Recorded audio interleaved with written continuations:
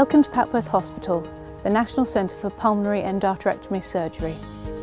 We've made this film as some of our patients and their families said they didn't know what to expect after having the operation, and they also felt nervous about taking their loved one home after the operation. Contributors to the film have been patients and their families who've experienced the operation, and those professional members of the team that you'll meet along your surgical pathway. We hope you find it helpful.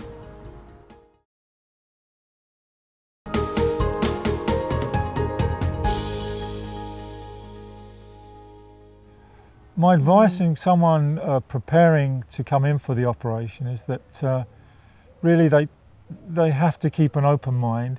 They have to understand that uh, it is a complex procedure, but the quality of care and the expertise within Papworth Hospital is such one that will make you feel confident.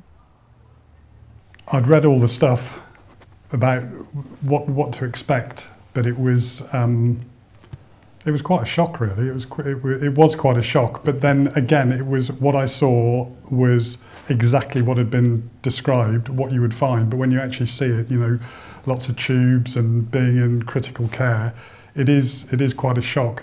I did feel the one thing I did feel as, as soon as I walked into critical care was that that Emma was being really well looked after. The, the staff were, you know, very very good. So.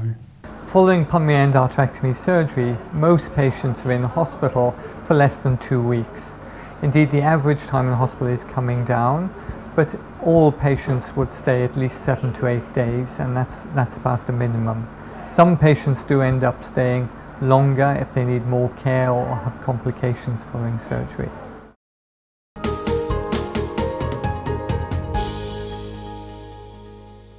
It's very normal and very understandable that relatives and, or, or partners or, or friends will um, will share some of the emotions that um, a patient will be experiencing um, again before, during and, and after the surgery. So I think one of the best ways to prepare is, is perhaps to think about um, how, how they can as a family become experts really um, on, on perhaps the surgery and on the patient's condition and I think they can become experts really by um, using the knowledge and the expertise of the medical team around them.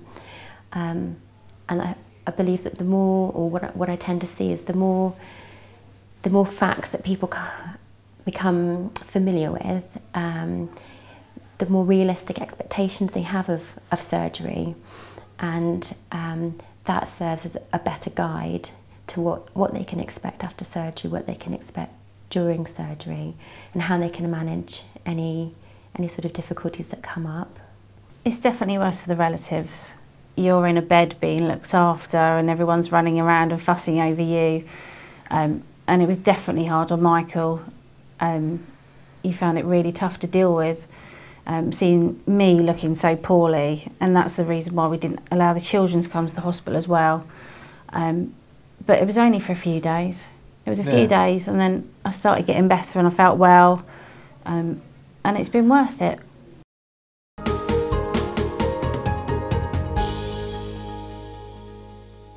So some people um, might experience um, um, arranging the intensity of their emotions. Um, for example, people say um, that they're feeling extremely anxious about leaving hospital and perhaps going home and doing thing, things for themselves um, when they're used to um, a lot of help from the nursing staff.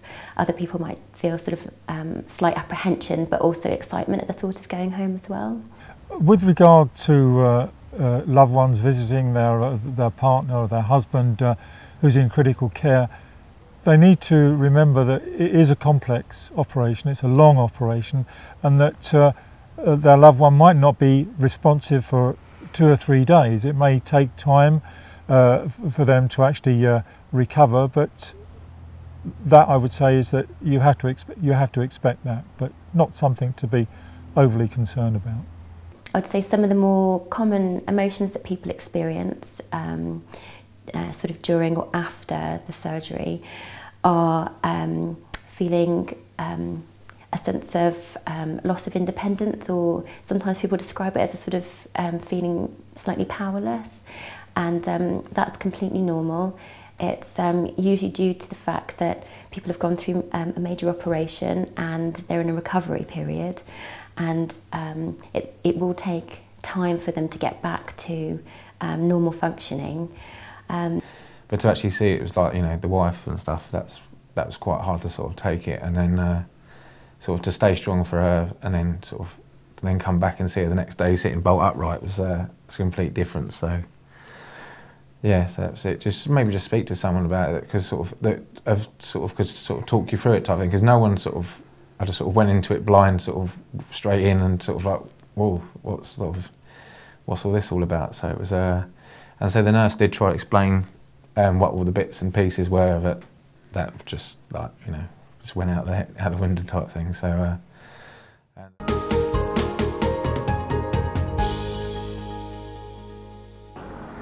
For most patients, they have just simple analgesia similar to what you can buy in a chemist, and they don't need very strong painkillers by week two after surgery when they're going home.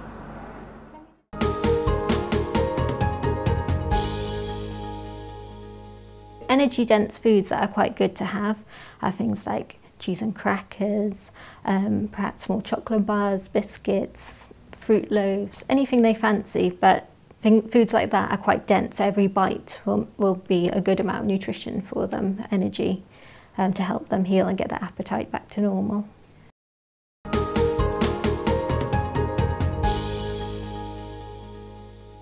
Even following surgery, it is vitally important that patients stay anticoagulated.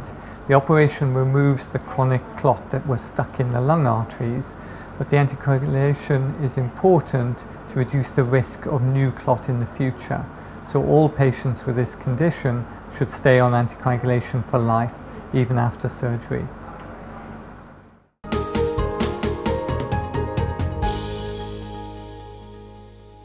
So the physiotherapist will see you the first day after your operation to help start your rehabilitation to get you stronger and fitter to go home.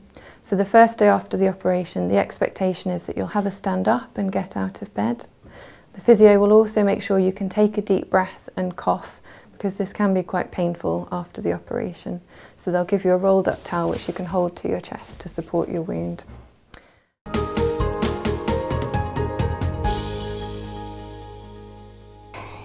People's experience of um, post-surgery delirium can vary. So sometimes the dreams or the hallucinations that people experience um, can be quite pleasant and sometimes they can be very unpleasant. And it's there, there's a variety of causes um, implicated in, in um, post-surgery delirium. There's a section in the information booklet about possible hallucinations, um, which again I read and discarded. But that, that actually happened to me, and I've never had an experience like that before, and it was very frightening. And I was suffering quite extreme paranoia. I thought everybody in the hospital was against me. And that must have been awful for the staff to deal with, although I gather they're probably quite used to it. But um, that was something else that I would just say, obviously it, it's fine now, and I understand all that now, but um, not to get too concerned, you know, if it happens to a patient, to for, for the person looking, you know, the staff, not the staff, the, the carers, the people, the relatives, not to get too um, concerned. Well, it, it took me a while to realise what was going on, to be honest with you, because um, although obviously when Emma had just woken up, she was a little bit disorientated, but she was still making sense. She knew who I was, um, and she, you know, she asked about the kids, but there was there was other stuff going on, which is it's it's very it's really weird because at the time um, I didn't realise straight away what was happening. It came it came to a head the, the morning after Emma had woken up. I was staying in a local hotel and I got a phone call from from the nurse on critical care by Emma's bed saying that Emma wanted a word with me, and um, I spoke to Emma and she was really, really coherent. And she just said, You need to phone my mother. I said, Why is that? She said, Because um, it's all in the papers about Papworth and all the drugs. And in, she, she was absolutely convinced that it, the hospital was full of drug dealers. There'd been a big protest the night before, there'd been all the doctors had come in, and it was just. A really convincing story, completely ludicrous, but very convincing. It was clear Emma believed it. And I believed it at the time because I went out and bought all the papers to just check to see what had been going on at Papworth. And gradually it dawned on me that this was something that hadn't happened at all. And the first thing that Emma said when I came in was, Did you get the papers? And I said, Yes. And she said, Did you see it? And I said, Well, I haven't had a chance to go through them yet. But it was, and I was quite concerned as to how to handle it because I knew that this was, this wasn't real. But Emma absolutely believed it. Absolutely believed it. Yeah.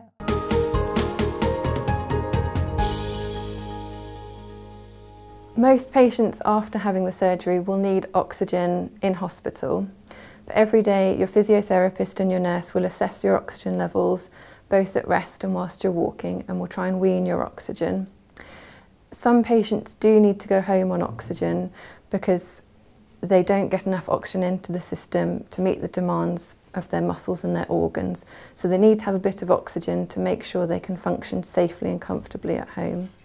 If you do need oxygen, your physiotherapist or your nurse will organise that for you and the oxygen company will come to your home and set it up for you. And then your GP will monitor your oxygen levels so that you're not on it any longer than you need to be on it.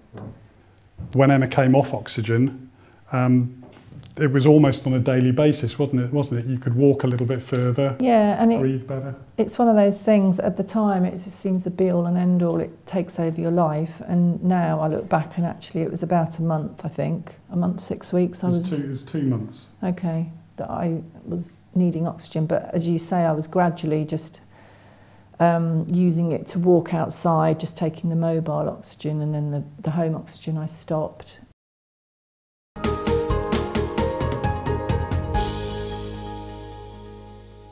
Going home is planned when you're well enough to be traveling back in your normal car, and mostly we encourage your family members or friends to take you home in their normal car, and you should be absolutely fine to travel with them. And there are some circumstances that some patients would need uh, uh, other form of transport. Um, that is when you have been started on oxygen before going home uh, from from Papworth Hospital then we have to arrange a suitable transport for you. That will be arranged by the hospital and for you to be safely going home.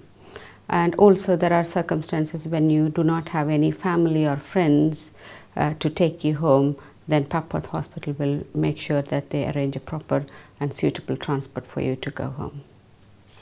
Journey was tiring, um, and I was very sore, obviously. But we put um, John very thoughtfully brought some cushions with him, so we, cushions under the seatbelt did the job. And I was very, very tired, yeah. But I think I slept some of the journey, but it was okay. Yeah, it was fine.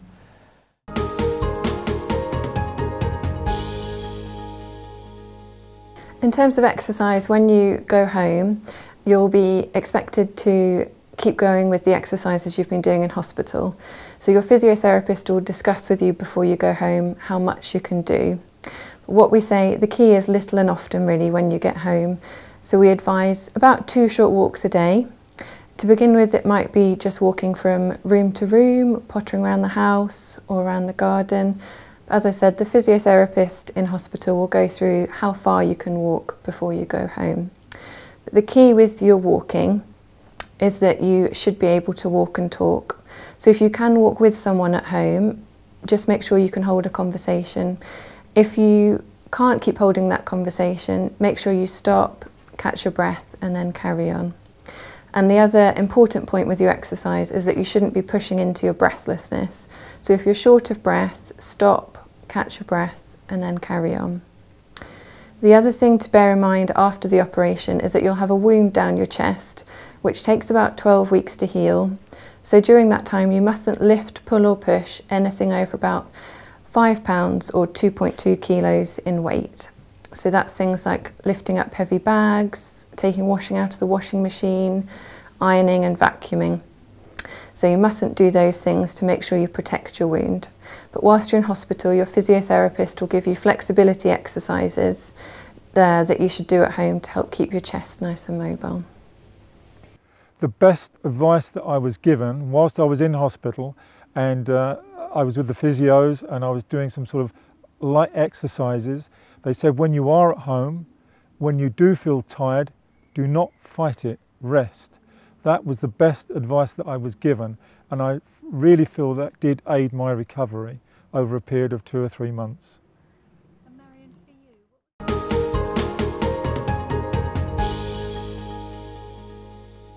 I have a little bit of residual disease, which I always, always made clear all along that I would still have a little bit. Um, and I, my medication has been reduced significantly, but I still have, um, I'm still um, three times a day sildenafil, lowest dose rather than the highest dose from before, um, just to manage that. And I seem to, it doesn't really get in my way, I don't think, other than that, um, as I say, sometimes I get a bit breathless and um, I have been a little bit giddy on occasion, and then I know that's my sign to stop. And I, I kind of feel that I'm just going to have to live with that. I think that's probably going to, it may go away, but if it doesn't, I know why. Um, but certainly now I've been walking I've been going on walks at home because I was always quite a big walker before.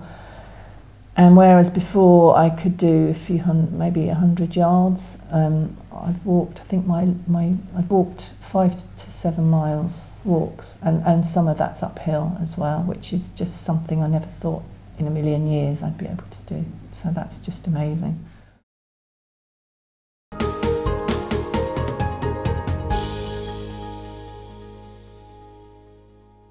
prepare ahead things that you're going to need post-operatively. Real basics like have you got sufficient food stocked up in your cupboards? Is your freezer stocked up?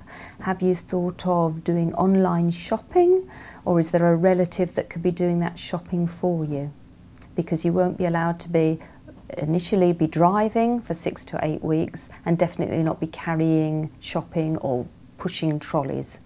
With, with regards uh, to other patients and uh, support that they would need at home, I would most certainly recommend that uh, they would need to have someone there on their arrival back at home. And I guess it does depend on how quickly they recover, how well they feel when they've actually been discharged from, from hospital. But my own personal opinion is that they would need someone with them for a period of time until they felt confident enough to be able to sort, support themselves wholly. If you have any dependents at home who need your help, you obviously need to think about how they're going to be cared or supported while you're in hospital, but not only just while you're in hospital, also during your recovery period, because you're not going to be able to help support them perhaps, and that includes even walking the dog. They don't advise you to be walking and being pulled along by the dog. To help prepare for the operation, I've got a young family, so I've got um, my baby was 16 months I've got a 14 year old and we had a six year old.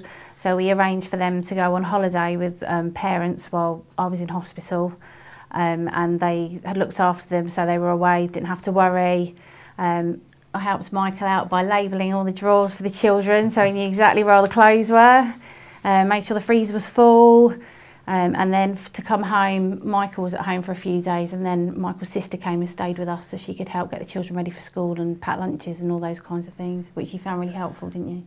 If, like I do, you live on your own, the best way to prepare before you come into the operation is make sure that the neighbours, friends are aware ideally make sure they've got a key because it's it sounds daft, but if you are on your home alone, if no one can get into the house, it's well, it causes problems.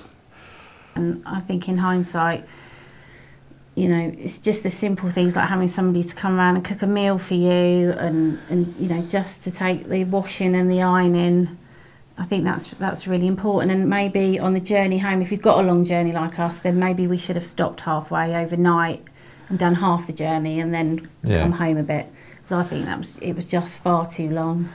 Before you come in for your operation, it would be really beneficial to practice Things like getting out of an armchair without pushing up through your arms. So to do that, try shuffling forwards in your chair, place your arms across your chest, rock three times to get some momentum, and then push up from the chair. The other thing you can practice is getting out of bed without using your arms. So think about walking your legs to the edge of the bed, rolling onto your side, and then pushing up with your elbow.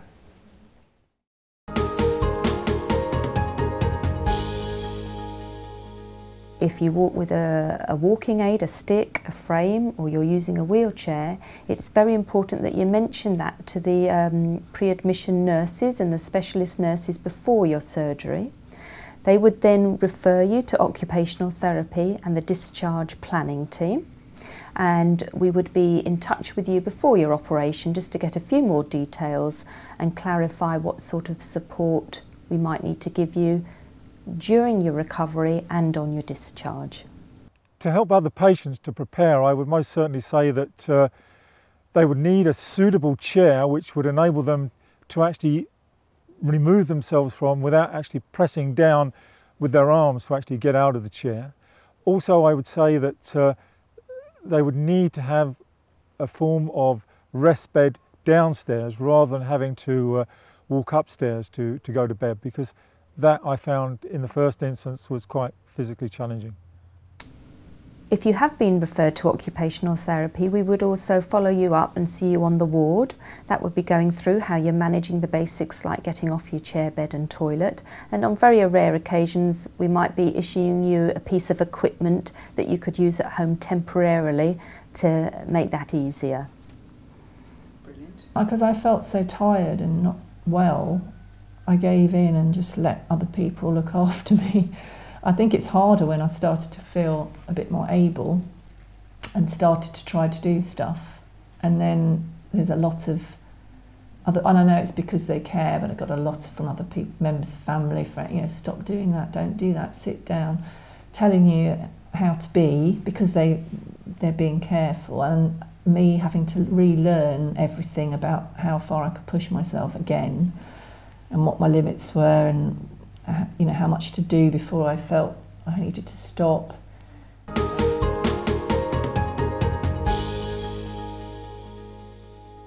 I think we you need needed to speak to people, didn't you? Yeah, we needed to talk to people more about it so that people understood. Because I think people just thought I was coming in just for just for a minor operation, and and nobody really understood. It was only when I came home that it came as a real shock to people that I was so poorly. Um, and having and been living so far away from the hospital, nobody really came up to see me. It was only Michael and, a, and my best friend, um, and then a couple of family members popped in um, for one day. So I think it just when we got home, it was a bit of a shock to everybody, just quite how poorly I was. It's hard to describe, although you're told what to expect until you actually experience it and see it, you can't you can't just simply explain to someone what that's going to be like. You can prepare, you know, as best you can, but to actually be in that situation, it's like the only way I can th think of it is is um, it's like uh, we, we've done a lot of travelling, and if you, you go to a country maybe very different from ours, and you read the guidebooks about what to expect um, and how how the culture works and, and how you do things, and that's great. But you step off the plane and it's just there. It's exactly what's described, but now you're experiencing it, and that's that's very different.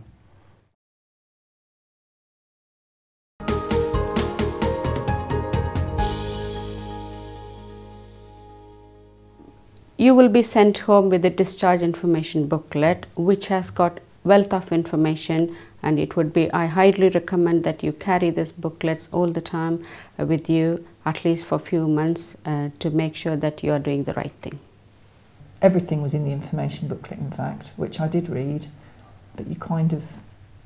You I, read think, it. I think you pick out the bits that you think are going to uh, be relevant to you and brush over the other stuff because my whole experience ended up the other stuff was what actually happened. We took the information pack, um, which they found really helpful because it told them everything they needed to know. Um, so I kept that on me at all times, didn't matter where we went or anything. I just made sure I had all the information just in case um, and they found that really they thanked us for bringing it.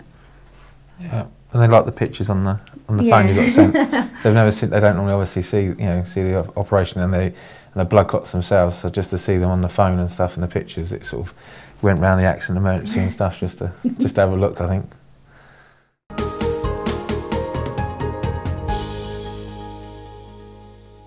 I've spoken to the nurses at Papworth a couple of times since I was since I went home after the op. I did speak to them a few times because I feel that any kind of worry I've got that I'm, they're the people to talk to in the first instance because they obviously have they know what I've been through and they have all the knowledge and expertise far more than obviously the GP. I, I knew that they was there. They were pro- providing me with their telephone numbers, their bleep numbers, and uh, yeah, when I needed them, uh, they were there. I, I, I have to say that uh, it, I may not have called them on many occasions, but uh, I was confident in knowing that if I needed to speak with them, there was someone there to support me. Most patients are uh, uh, and the family are much concerned about going home. Uh, it's, it's just mainly because they are far away from Papworth and you had the surgery here and you would be worried that how am I going to manage. Um, the GP is the first point of contact for you and you contact the GP when you feel uh, um, that you have some infections in your wound, uh, you have increased shortness of breath or you have any uh, ankle swelling um, or you, you may be coughing up uh, any phlegm. Any of these circumstances, you see the GP, and they should be able to uh, uh, manage this uh, at their level. If they are not able to manage, maybe they will uh, uh, consult with your local um, respiratory team. And there is also help available for you with your local pulmonary hypertension uh, team who have referred you to Papworth Hospital. You may have to contact the emergency services through calling 999. There are circumstances when you have severe chest pain or your breathing pattern has changed or when you have severe headache that hasn't been resolved by uh, having paracetamol or also even you may be having um, increased uh, heart pounding sort of feeling. These are the circumstances you may have to contact the emergency services without even waiting for the GP to respond.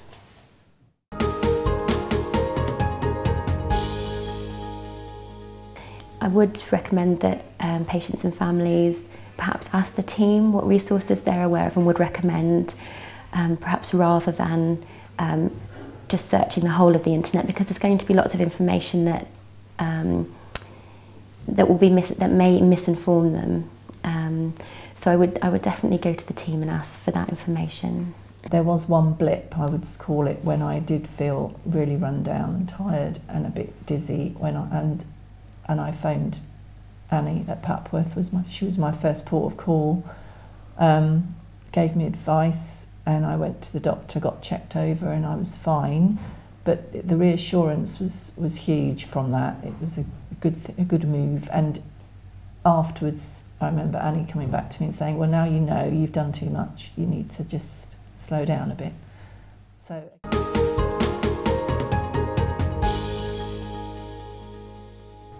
The Pulmonary Hypertension Association was of great help to me, not only before the operation, in as much as that um, the condition that I had is a very rare condition, and it was very difficult to explain to uh, my family or other third parties what the condition was. But I was contacted by the Pulmonary Hypertension Association, invited to one of their meetings, and there I was amongst people that had either had the operation, were possibly going to be offered the op, but I was able to speak with them and they would understand how I actually felt. So I have to say the Pulmonary Hypertension Association I've kept in contact with, and it was also nice to speak with them with regards to uh, their experiences before and after the operations.